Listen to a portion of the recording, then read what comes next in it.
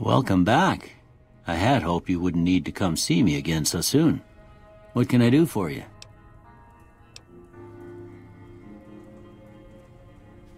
General Blackthorne ain't real. He can't hurt you. Courier?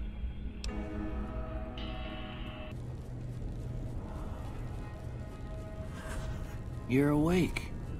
How about that?